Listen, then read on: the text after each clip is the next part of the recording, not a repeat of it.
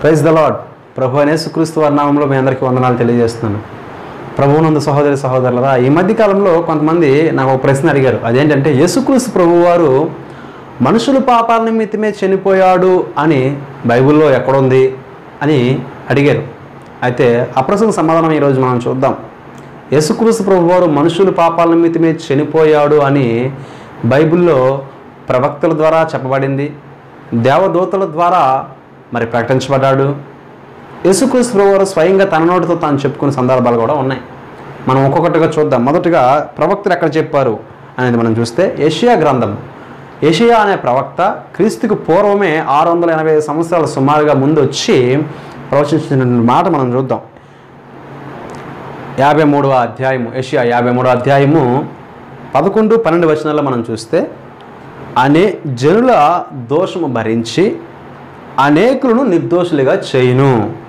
అనేకుల పాపమును భరించును అని ఉంటుంది అక్కడ. అంతేకాదు ఎనిమిదవ వచనము పదవ వచనంలో కూడా సజీవులు భూమిలో నుంచి కొట్టివేయబడిను అతడు అని ఉంటుంది. అంటే చనిపోతాడు అని ఉంటుంది. పదవ వచనంలో కూడా ఆయన చనిపోతాడు అని ఉంటుంది. ఎందుకోసం చనిపోతున్నాడు అంటే నాలుగవ వచనం నుంచి మనం చదువుకుంటూ వస్తే నాలుగో ఐదు వచనం నుంచి చదువుకుంటూ వస్తే మన అందరి పాపము దేవుడు అతని మీద తండ్రి అయిన దేవుడు కుమారుడు నెసుక్రీస్తు ప్రభు వారి మీద మోపినట్లుగాను మనందరి పాపాల నిమిత్తమే ఆయన చనిపోతున్నట్లుగాను యషియా గ్రంథము యాభై మూడో అధ్యాయం చదివితే మనకు క్లియర్గా అర్థమవుతుంది. ఇదంతా కూడా ప్రవచనమే. ఇకపోతే యోహాను సువార్త మొదటి అధ్యాయం ఇరవై తొమ్మిదో వర్షంలో బాప్తిస్మిచ్చి యోహాన్ ఒక మాట చెబుతున్నాడు. యశుప్రభు వారిని చూచి లోక పాపాలను మోసుకొని పోవు దేవుని గొర్రెపిల్ల అని అంటున్నాడు. అంటే మన అందరి పాపాలు కూడా తీసుకెళ్ళడానికి యేసుప్రభు వారు వచ్చాడు అనే విషయాన్ని స్పష్టంగా ఆయన చెబుతున్నాడు. కాబట్టి యేసుక్రీస్తు ప్రభు వారు ఎందుకు చనిపోయాడు అంటే మన అందరి పాపాల కోసమే చనిపోయాడు. ప్రవచనాలు చెప్పబడిన రీతిగానే యేసుప్రభు వారు మన అందరి కోసమే ఆయన చనిపోయాడు. అయితే యేసుక్రీస్తు ప్రభు వారు గురించి ఇంకొక వ్యక్తి కూడా చెప్పాడు. యోహాను సువార్త పద్దెనిమిదవ అధ్యాయము యోహాను సువార్త పద్దెనిమిదవ అధ్యాయం పద్నాలుగవ వచనంలో కైప అనేటువంటి ఒక ప్రధాన యాజకుడు ఉన్నాడు. ఈ ప్రధాన యాజకుని కైప యూదులకి మొదటి నుంచి ఒక విషయాన్ని బోధిస్తున్నాడు. ఒక మొదటి నుంచి ఒక విషయాన్ని ప్రకటిస్తూ ఉన్నాడు ఏంటంటే మన ప్రజలందరి కొరకు ఒక వ్యక్తి చనిపోవటము ప్రయోజనకరము అని ప్రకటిస్తున్నాడు ప్రవచిస్తూ ఉన్నాడు.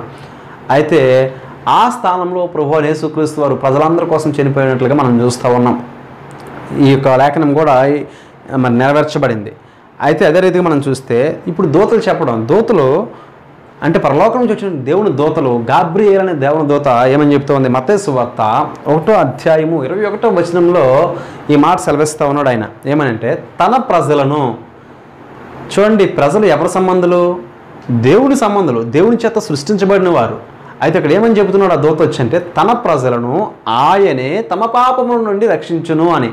అంటే ఈ భాషణంలో మనకి ఏం అర్థమవుతుందంటే మనందరము యేసు ప్రభు చేత సృష్టించబడిన ప్రజలము అని అర్థమవుతుంది. అంటే యేసుక్రీస్తు ప్రభు దేవుడు అని స్పష్టంగా అర్థమవుతుంది. ఆయన ప్రవక్త కాదు. అయితే ఆయన ఎందుకు వస్తున్నాడంట? పాపాల నుంచి రక్షించడానికి ఆయన వచ్చాడు. ఎలా రక్షిస్తాడంటే తానే మనందరి కొరకు బలి అయి రక్షిస్తాడు అనేటువంటిది బైబిల్ యొక్క ప్రధానమైనటువంటి సారాంశమై ఉన్నది.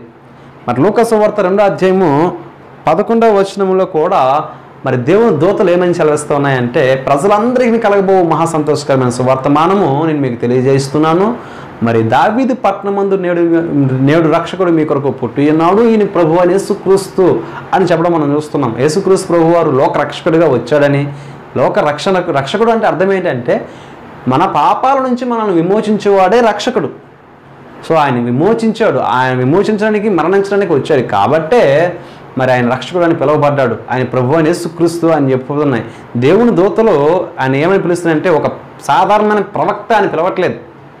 యేసుక్రీస్తు ప్రభు వారిని దేవుని దూత ఏమని చెబుతుందంటే రక్షకుడు పుట్టి ఉన్నాడని చెబుతున్నాడు. అదే దేవుని దూత ప్రభువైన క్రీస్తు యేసుక్రీస్తు ప్రభు వారిని ప్రభువైన క్రీస్తు అని ఎందుకు ప్రకటిస్తుంది? ఆయన సాధారణమైన ప్రవక్త అయితే ఆ విషయాన్ని కూడా మనం గుర్తించాల్సిన అవసరము ఉంది. ఇకపోతే ఇప్పుడు యేసుప్రభు వారు తన నోటి ద్వారా తను ఎక్కడ చెప్పుకున్నాడు అనేది మనం చూస్తే మతేసు వార్త ఇరవై అధ్యాయం ఇరవై ఎనిమిదో వచనంలో ఇరవై అధ్యాయం ఇరవై ఎనిమిదో వచనంలో ఆయన ఏం మాట చెప్తున్నాడంటే అనేకులకు ప్రతిగా విమోచన క్రయధనముగా నా ప్రాణాన్ని ఇస్తున్నాను అంటున్నాడు. అనేకులకు ప్రతిగా అంటే మనందరికి బదులుగా విమోచన అంటే ఎక్కడి నుంచి?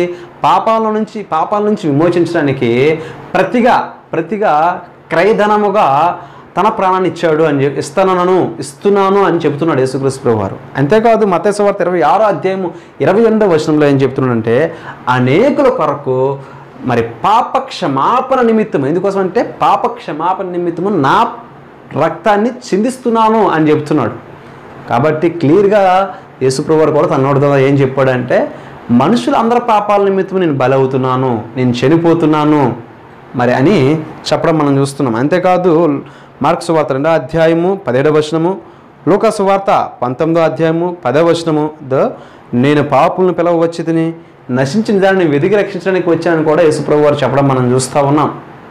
కాబట్టి యేసుప్రభు వారు నిన్ను నన్ను రక్షించడానికి వచ్చాడు. నీకు బదులుగా నాకు బదులుగా శివుల్లో మరణించాడనేది మీరు గుర్తించాలని ప్రభువు పేరట మిమ్మల్ని వేడుకుంటున్నాను. ప్రభువుని అంగీకరించండి. ఆ నిత్యరాజ్యాన్ని స్వతంత్రించుకోండి. ప్రభువు నిన్ను మమ్మల్ని అందరిని దీపించి ఆశీర్దించి నడిపించడం కాక ఆమె ప్రైజ్ ద లాడ్